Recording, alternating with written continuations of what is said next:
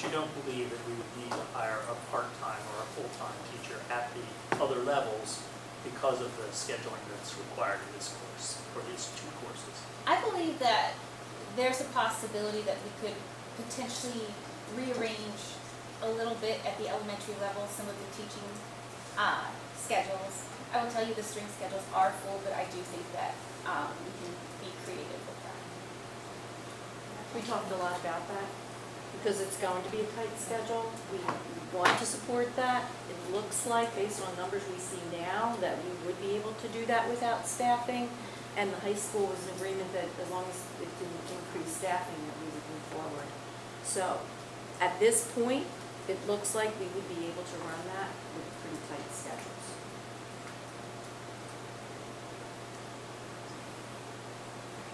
Anybody else have any other questions?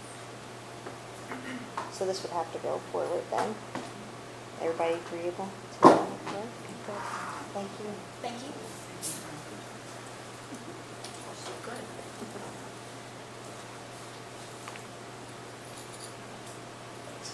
The high school STEM program improvement proposal.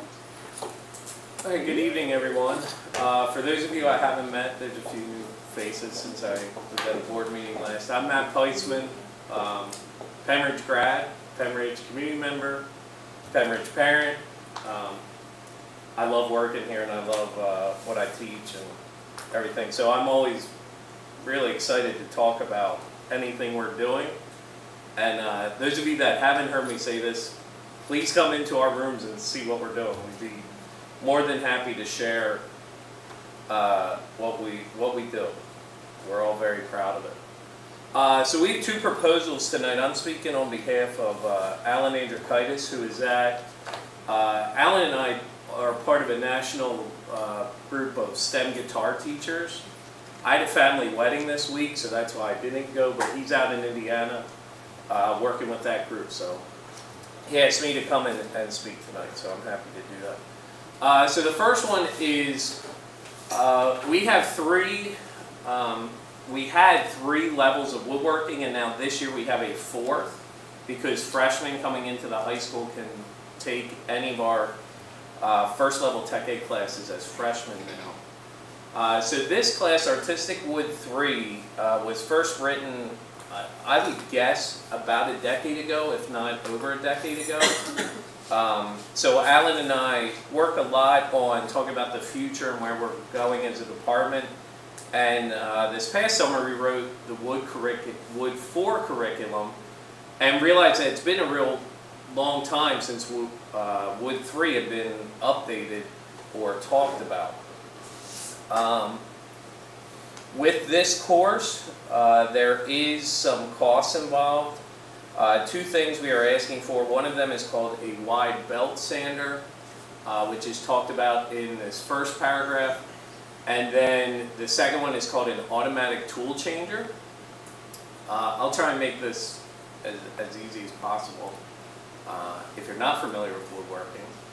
Um, basically, a, uh wide belt sander is a machine. It's not a handheld uh, machine. It is a floor mounted machine that has a sanding belt in it and you can very easily, user-friendly, these newer models, send a piece of wood through or a glued up tabletop or a panel to a cabinet or a trunk that you're building to send it through to get it level and also sand it at the same time. Uh, I can speak from experience where I used to work, I had a very older version of these machines. It broke down all the time. I was the only one who could operate it because it just wasn't reliable enough for students. And that's why here at Pennridge, we have a older model of things called drum sanders. Also run by the teacher, not by the students. Um, well now, related to the STEM guitar thing, Alan and I were in Washington State this summer. And out there, some of the guys that we've become friends with have some amazing facilities um, and one of the things that is kind of the standard are these newer versions of wide belt sanders that students can use. They are reliable enough, easy enough to use, uh, obviously very safe enough for a student to use. And the real um, emphasis of why we'd be asking for this is it helps alleviate time of hand sanding. We're really proud of what we do in our department, especially woodworking, but a lot of their time is spent sanding, which is not really a great learning curve skill, if you will. You know, once students have kind of mastered it, it, it doesn't really get any faster. They still have to do it. It's not something, you can definitely get better at it, but it doesn't really cut a lot of time down. And when you talk about what would you rather have students doing, well now, along with the workshop we did this summer, we're trying to incorporate 3D drawings and modeling just on our CAD classes that Bob Miller teaches, but in all of our classes. So our hope would be something like this can alleviate time of students doing sanding and then do some of these new, if you will, 21st century skills that they're learning in the middle school now with the awesome rewrite that we've done down there. That's just one example of what this could do with for us. Uh, cutting about a third of the time down of sanding. They still do need to do some hand sanding afterwards, but it would greatly increase uh, the amount of time that they can spend on other things. The other machine, or add-on actually in this case, is called an ATC, an automatic tool changer. Uh, so in the middle schools, they have CNC router machines. We also have them up here. One of the biggest drawbacks with uh, CNC machines are the time that takes the operator. In all cases, it's the teacher. We don't allow the students to uh, change the tooling on them, which would mean if it was drilling a hole, you got to take the drill bit out and now put in a cutting bit. Well, that takes time, and there's downtime that the teacher has to be doing that instead of something else or whatever it may be. Or it might be, okay, I have the machine set up for this today. You get it done, you gotta wait till tomorrow, till I set up the next thing and, and stuff like that. Um, what this does is, and these are really cool to see in action, is it's a vacuum suction system. The machine does its cutting, then goes over, drops the bit, picks up the next one, and that's all part of the programming that the students would be doing in these advanced level woodworking classes. Um, the reason why this wasn't asked for last year when this machine was uh, proposed, it just came in this summer and Alan's been working with it, is uh, this option wasn't available yet. Maverick, the company, uh, Maverick Legacy, they didn't have this available yet. So they are now, so that's why we're asking uh, for it now. So you have, um, well, I guess, are there any questions about the two machines? Yes.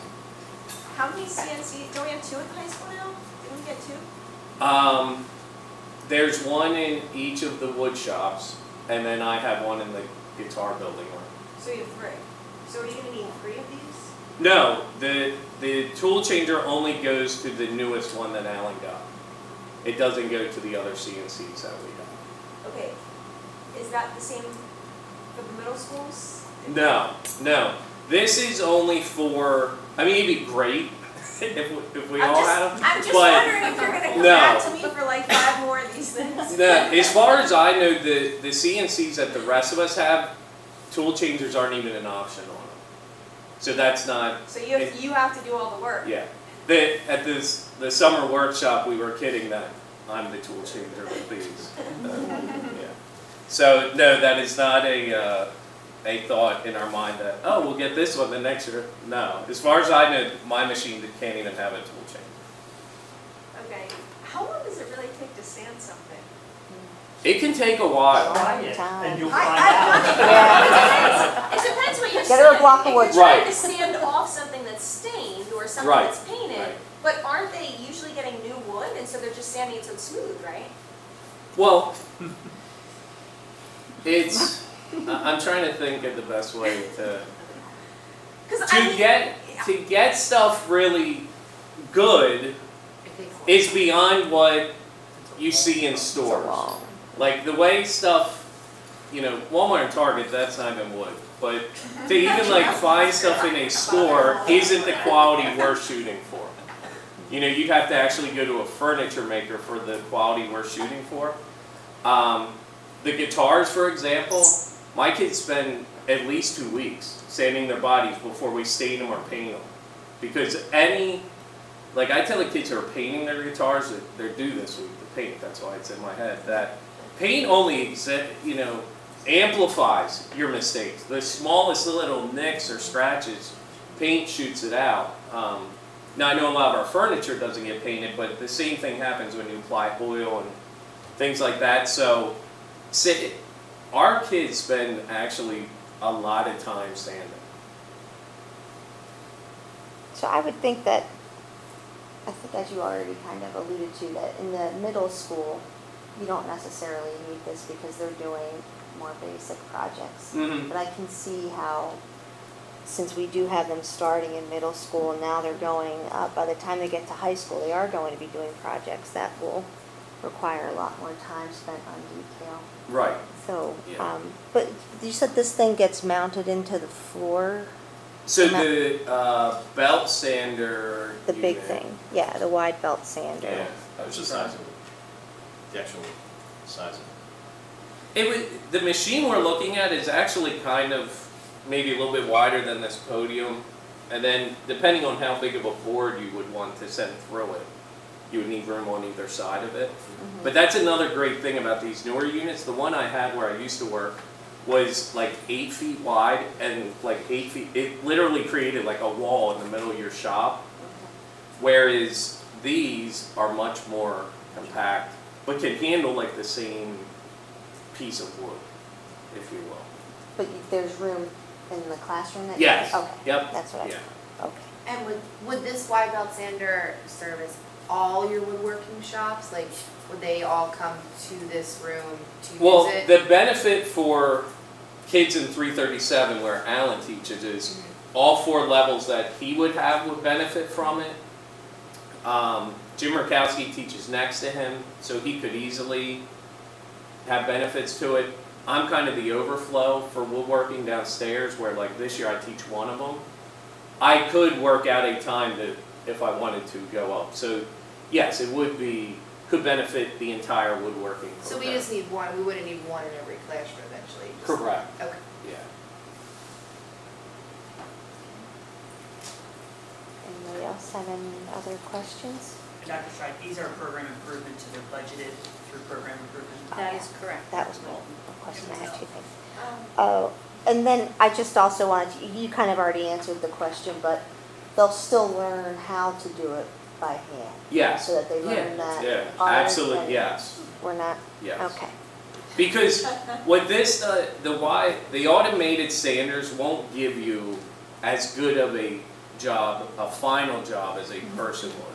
So these are really good in the beginning stages, and that's when it's really time consuming, getting all Yeah. those scratches out.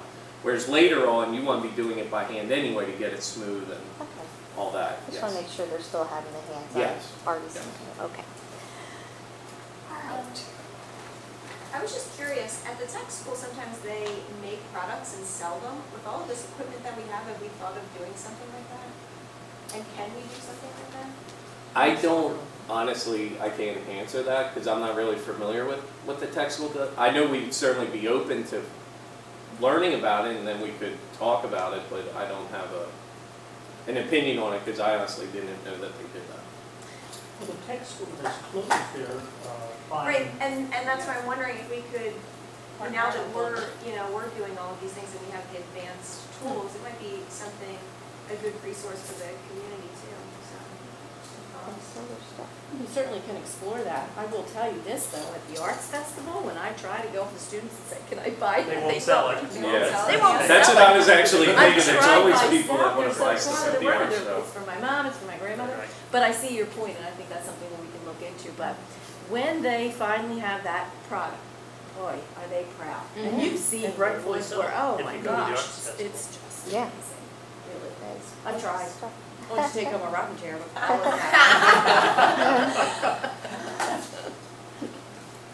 Right, so uh, does anybody have any objection to moving this proposal Now, forward? as, Oh, as someone who's wrestled with those old-fashioned belt sanders, I think that's a great idea. Right. Yeah, It's, um, I'm sorry, it, uh, it was down here. Oh, sure, yeah. Well, both, the, the wide belt Sanders twenty thousand, the ATC is ten. It's two different things, but they're thirty. The ATC, how many uh, devices can you, like, change at once? I think it holds five, Okay, but I don't know. they're all chucked. Yeah, Chucks. yes, yep. I think it's a time, sa- it does make sense to me to get something that will save the time, because you only have forty-six minutes or whatever you're, Right, you know, so yes. you don't have a lot of And then time. you just program and then it goes around, doesn't it? Yeah, it's, yeah, you, Makes sense. with, um, the program that we're trying to use is called Fusion 360, which is a free 3D modeling and CAM software that's cloud-based. Uh, so we're, it's a really kind of great solution at the high school where the kids have a laptop and they can run some cloud-based. When you program those CAM modules for this cut takes this, the software actually knows to tell if there is a ATC, to tell it to, okay, at this point, now go change your bit, and it's really pretty crazy when you see them working. So it kind of gears them towards like a machinist type of. Right, career. yeah, yeah. Which is what the Wood Four class that we wrote over the summer is heavily based in CNC work. Because that's now what is kind of an industry standard, so not that we're ever preparing kids for a job here at the high school, you know, it's a tech schools kind of focus. We still like give them the experience of, hey, here, you know, just like in any class, here's what the real world's doing, yeah. So that's the, the idea with that. So when you have incoming freshmen who come into your wood shop, do you Mhm. ever suggest if they have a high interest that they should pursue going to the tech school? Yeah, what Jim Rakowski and I usually talk at eighth grade parents' night, and that's a probably the most common question. You know, they love STEM or woodworking in the middle school, and we try and tell them, you know, if they really feel like that's the route they want to go, then investigate it, pursue it. Um, we also say, you know, as a ninth grader, you could come here and, you know, end up going there as a tenth grader or whatever too. You know that you. I would just hate a kid either way to try some and then not like it. Like, oh, I came here. I really wish I went there or went there. You know. Mm-hmm. So you try and give them the best explanation you can, but What kind of warranties do we get with those? Can you speak up, please? What kind of warranties do we get since our equipment enabled recommendation? Usually. That's a great question. I don't know offhand because Alan was the one researching these things. Um, we do have a uh, kind of a guy on call, a maintenance guy who's really great. He serves kind of the Delaware Valley, and even more so, he's from up in Nazareth. Um, s- and he's really good because I've when I worked at another school, I used him, and one of my machines went down, and he contacted the company and found out it was under warranty and at the time and stuff. So I would I would think um, particulars I can't answer, but I would feel pretty confident in. And Matt, we can get that information. Yeah. We get that Uh, information. I just, um, Okay. No, that would be good to know. Yep. and it, and that would probably be included with the standard. Yeah. How many- oh, Okay, that's, how many years is the standard? Oh, I don't know. Oh, I much- thought you were done. I don't know. We'll get that information to you. You have a part two, right? Of the Yes. Presentation? Yeah, are we ready for that? Yeah. Okay. Uh, so the next part is something that I think is an awesome idea. Um, that's offering our uh, third level, which is the one we just talked about, and our level four classes with honors credit. Uh, we talked about the art show earlier, and if you've ever been there, I, the, discussing honors for these is kind of a challenge. It keeps wrestling in my head. But if you've been at the art show, it really is incredible what our kids do, especially in woodworking. So to say, well, what would you do to make it honors?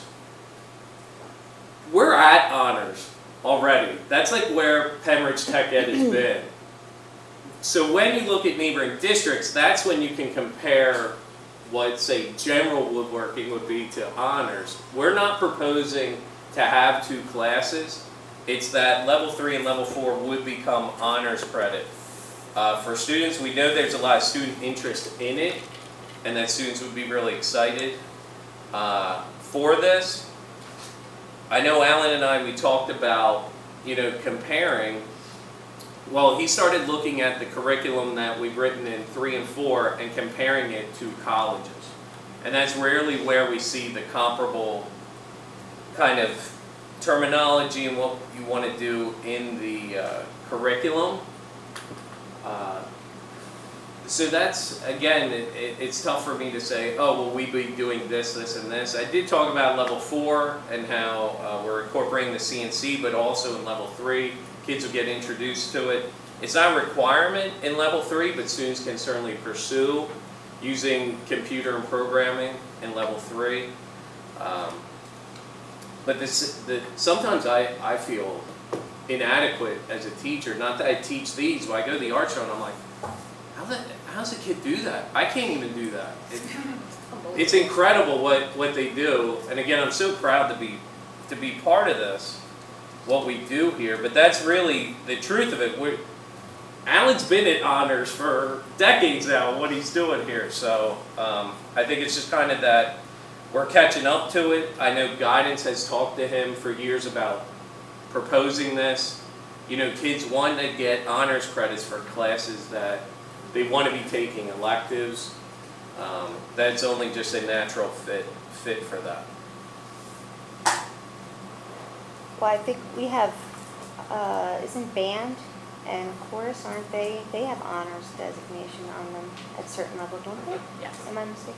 Band Yes.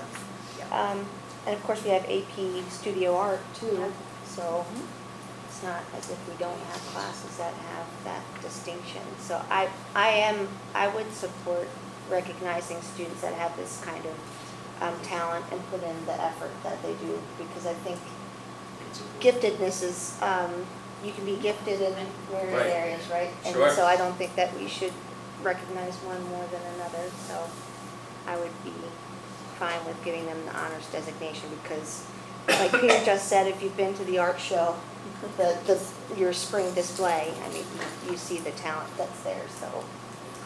Now, when will, when will they start to receive honors credit? Will that go into effect for this year or not till next year? Be retro for I don't everyone? I don't know if I have the answer to that.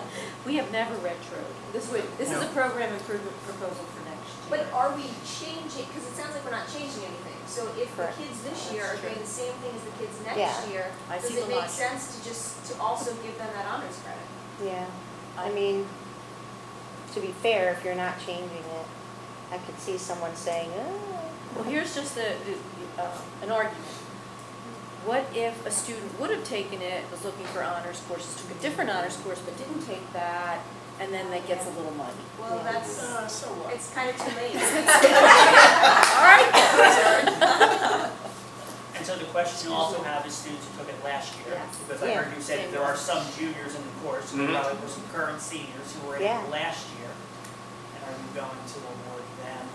I'm, I'm comfortable giving it to anyone, because I think it is already an honors course and it's already been an honors course this entire time. So I would have no problem giving anyone credit for it, because that's what it is. We're not changing it. If we were changing it, that would be a different story. Uh, I Um, heard you say Wood Ford did not exist last year, is that true? That Wood Correct. A new course It- this year, so it's only. It's happening three- right now, but so it's only brand new, Wood yes. three we're talking about that could possibly go into last year. Into last year, correct. Curriculum last year and this year is identical Right. in terms of what's being done. And I think um, there's definitely some students too who are focused on their, you know, their rank and their GPA and all of that and, and pass up on this class who would really like to take this Right. class. And so by giving this honors credit, it'll open that door for those students. And it should because it's that, it is a high level course. So, is it a full year? Yes. Yes, both are a full year. And how many students are currently in level three or four? Uh, I was, I figured that was gonna come up, so I was trying, because I don't teach them. Uh, I know Alan's full, full course load this year is level two, level three, and level four. He doesn't teach a level ones.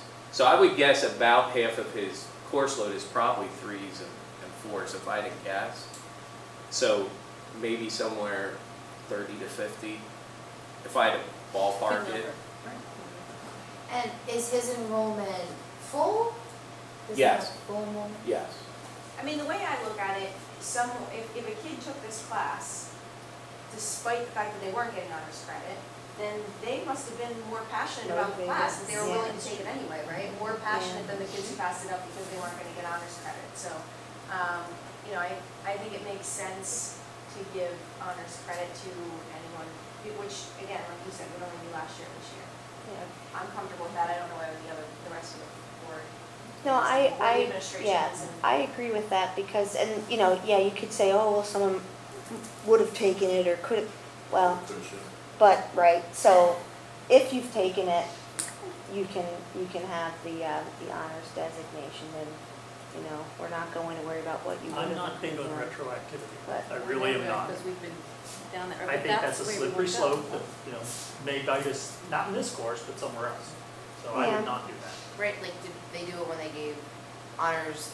But we've never To the done it band? in the past, no. It wasn't backtracked, it was So, changed. going forward, so it wasn't done before. But if they But- change the course But usually they content, change the course if the content. course Usually, content but isn't always. changing, I don't know how you can Sometimes argue. it's just a revisitation. But if I the guess if course, it's a revisitation, I I would always not care about giving retro. credit. I don't know how you justify not giving it if the course content hasn't changed. I mean, I would say that you would have to change something to justify saying to people, well, you took it last year and you're not getting honors credit, but lo and behold, we've decided to, you know, give honors credit, but we haven't changed the course. I mean, what's the justification for that? I, I, if you can offer an explanation, I mean, but otherwise, I think that to be fair, you have to give it to them. Or alternatively, you have to make the course different somehow to distinguish it from what it is now. So I think we're comfortable with the way the course runs, and, I mean, correct me if I'm wrong, mm-hmm. Matt, that we already consider it that. So lo- the logic you're speaking of is you didn't change anything, I'm taking this course, it should have been an honors course, it's going to be an honors course. So give the credit. So you're at the next level, so they were at level four the last, last year. and this Last year we added level four. That's correct. No, level four. Level four Level was four, this yeah, year. This year, I'm This sorry. year. Right. Sorry. Last So, year we and did so level three was only available to eleventh and twelfth graders before? Yes? Yeah. Okay, So so I mean, how many kids are we talking about anyway, that you'd be offering? The Kids will not be upset. The other piece of the conversation to make sure that you're thinking about moving forward is there are very few honors courses in elective areas. Mhm. And so this would be introducing an honors course to elective area, which I think is a wonderful conversation to have around student giftedness and thinking about what those curricular areas need to look like. This most likely will then not be the last recommendation when the art department or the business department, or you fill in the blank, Mhm. comes to say, our students are doing wonderful work, because that's true. I was at the art show. It's not just wood, where those students are Yeah. doing amazing work that I look at and say, I have no idea how a seventeen-year-old can do that, or an eighteen-year-old can do that. We as a board need to be careful about the conversations we have as to what becomes an honors course and worthy of weighted grades versus not when you're looking at curricular development, right? In the content areas, it is easier because there's generally an academic and an honors. Outside of APs, there's generally two levels, and so the curriculum can differentiate between those two, and so the students select based off that differentiation. We are not making that differentiation here because there is not a level three academic wood and an honors wood. We are saying there is only honors, which is okay to say. There are other school districts that do that, and the curriculum can be uh, written that way in terms of the level of work that is happening.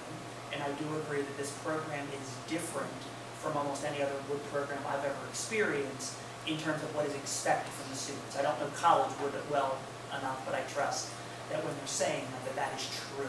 This is an AP type of college level course that students that are being considered for, for a weighted level. You just need to make sure that you're comfortable with what comes next mm-hmm. and what those conversations sound like. Because in isolation, all of these sound wonderful. We need to make sure from a curriculum standpoint, we are establishing what is weighted credit and what is not weighted credit, and looking at the curriculum for, to, to be able to make those determinations. So you said that other school districts do, that you've seen this in other school districts where they've given the uh, uh, honors designation to. It is rare that in, that in any curricular document that there is an honors level without there being an academic level, Okay. except for AP. which is not, obviously not called honors. It happens occasionally in world language, when you get to a level four Yeah. or a level five, that it's only offered in honors because it's generally very few kids. And that happens occasionally, but it is very rare to have an honors course without having the academic selection, because the students have to pick it at, at the honors level, which is unusual from a curriculum standpoint. But it's also unusual to have an honors level course in a encore area, in, in, in an elective area, and I congratulate the board for having that conversation, because I think we, I think that is a very good path to walk down for kids who have multi-talents. We just need to make sure that we're having these conversations about then what is, right? Because you probably wouldn't say yes to everything, and so you have to be careful about where that line is for you in terms of what it has to look like from a curriculum standpoint. And Dr. Scheid does a wonderful job of helping be that gatekeeper with the curriculum documents and looks at that. And she and I have had that conversation about this course and this curriculum document. So I'm comfortable with the proposal. It just, we need to be careful at the conversation that happens next. And I don't know what that will be and when that will be and and which department, but it will happen because Mhm. Art Yeah, loses Mark- kids to honors pre-calc as well. You know, Yeah, or whatever they're losing kids to that are weighted courses. I, I, yeah, I think that's fine. I mean, my- in my mind, while you were talking, I was thinking, for us in Pennridge, now we have students in elementary taking STEM Mhm. and doing these, not, not exactly this, but you know what I'm saying, they are doing these sorts of things, so to me, that's academic, academic, academic. Now, when you get to the high school, yeah, like to have them, just like you said, I think German is one of the languages that it's automatically honors. I know one of my kids, it's, it's automatically an honor, so if you opt into it. And so, since we start so early with our students, which I think is great, to me, this seems logical. But I agree that you'll have to be careful about, um, going forward with the other courses, maybe that you would offer it to. I think this is an obvious one in my mind, just because of the level of artistry in it. Well, I think the, the bar is also set high like an honors course, and so if a kid is not, is, you know, is not keeping up to that level, then they're not gonna, it's, it's just like any other honors course that they would take.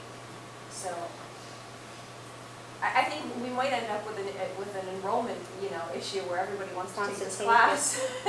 We're gonna have more people trying to get in, and then we're gonna figure out how to fit in more sections. Sometimes yes and sometimes no. The business department tried that some years ago.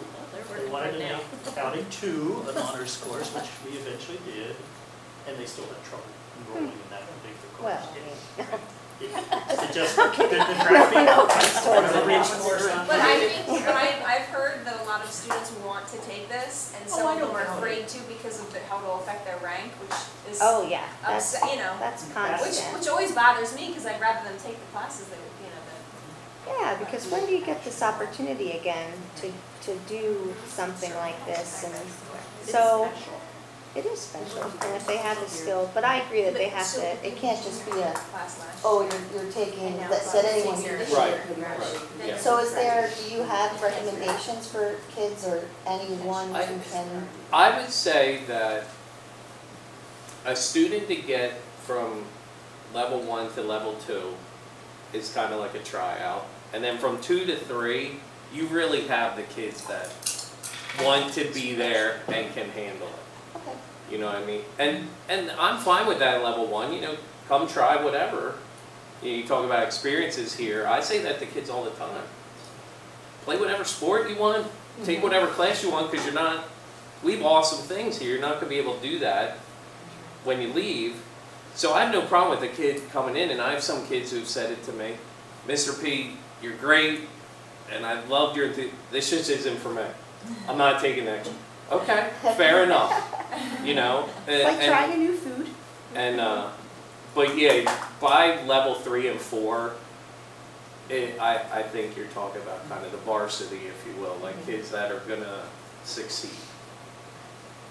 We're not gonna have to give honors credit for varsity sports, are? I think the other thing is, if, if you're, if you're going into, if you're going into the level three course, then you had to have taken the first two courses. So Right, most yeah. of those kids, I mean, I- don't know at that point that you get many of those kids who would have taken it if it was going to be an honors course, because then they would have had to take those other two years too. So they're either, they're, you know, they're either interested in it or they're not at that point, by the time it is level three. So where do we go, um, as far as figuring out the, where this, you know, whether we make this retroactive, So if we agree that's what we're going to do, then I will work with the guidance office at the high school and we will track down the students. Well, what are your thoughts on retroactivity? So I, it's, I'm being pulled in two directions. We Yeah, I know. never allowed it, we just didn't do it. There were a lot of students who would, would have been affected for various reasons. The logic behind we didn't change anything mm-hmm. kind of pulls me in that direction because it is the same class. So I can see the logic. It does become a little difficult. In terms of this particular class, I don't know that the numbers would have been higher for some of the things that we would, you know, the number of students that we have looked at this in the past would have affected an enormous amount of students. So I understand both sides. I certainly will support it. That's where we want to go and I will work with the high school to ensure that it happens. Should we take it in two separate parts? Like everybody's comfortable with this being an honors course? And then just the other part separately, whether you would Right, I retro would it? recommend that it be two separate motions on the agenda because it is two separate actions. Because one can be done without the other, Yeah. right? So you're feeling about the course and you're feeling about retroactive in terms of the GPA.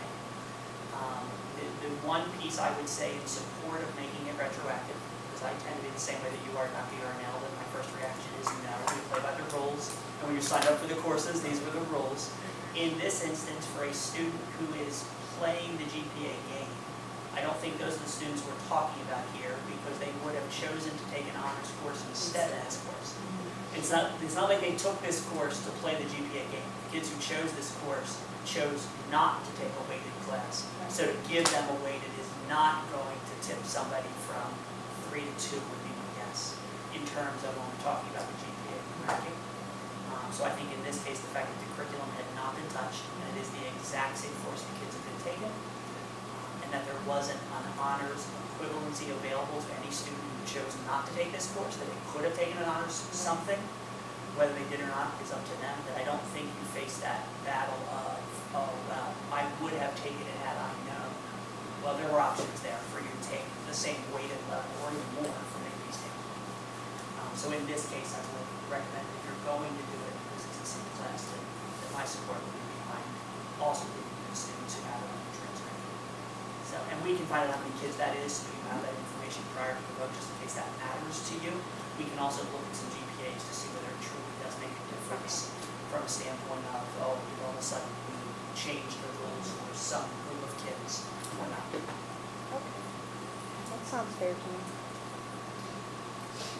But do, do we need to establish a line going forward of where we would, yeah, I mean, go back to, I mean, if we change another elective, how far would it go back? And I think those are really case-by-case conversations, uh, because I, I think it is an un- unusual situation that we're doing in terms of not changing the course, but changing the, you know, I don't, I don't think that happens often No. in terms of, because usually it's a curriculum change or a new course or something from a standpoint. And again, Dr. Scheid really working with the curriculum folk, I think will be your guide to be that first level of gatekeeper in terms of recommendation about what is appropriate or not and bring information to you to help you determine those in, in those one-offs where that situation happens. But I think it will be infrequent, would be my guess. Yes, I, I do see it being very infrequent. Okay. This was, this kind of just stood out, this, this class, this program is just so exceptional. Mm-hmm. Because I probably would have pushed back a little bit more on the idea. But I've seen it in action and I've watched these Mhm. kids and I've sat with these kids and I've seen what they do and they really just deserve it. So it, to me, it's the exception, not the rule. I mean, maybe we'll have this conversation about another class sometime, but I would imagine we're changing the curriculum to ask for that. This really was the exception. And actually, I don't know that it is gonna open a big door because those kids who are counting all of their credits would have to take two academic courses before they could take this honors course. They'd still miss that for two That's years, so I think it, That's, it's really just giving credit to the kids for their talents and, you know, contributing. Whew. Good conversation. good conversation, yeah. Thank you. Thank you. Thanks, Matt. All right, so two separate.